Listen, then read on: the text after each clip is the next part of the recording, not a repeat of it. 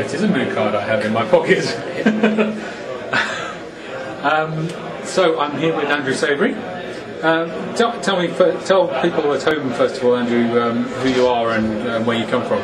Okay, I'm managing director of the UK branch of a company called SourceSense, and we have a very strong open source background. We've been working with open source software for in the region of 10 years now, and um, basically our company is built up of uh, a lot of committers and members of organisations such as the Apache Software Foundation. So, as well as being um, very, very focused on open source, we have a, a clear track record in, in applying open source software to uh, business needs, business requirements, helping organisations uh, to leverage the open source advantage. Okay, so what's your interest in Atlassian?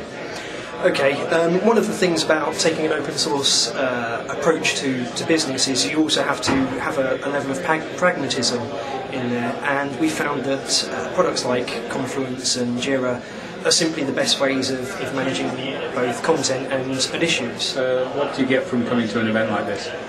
Okay, um, what we're really looking for from, from this event is to understand a little bit more about how other people are applying Confluence and Jira in their organisations, mm-hmm. and also it's a great chance to, to catch up with the Atlassian guys and see what they've got in mind for, for the products going forward, and to hear about things like Bamboo and, and Crowd, which, which are going to be great products as well. Mm-hmm. Cool, great, thanks very much. No problem, you're welcome.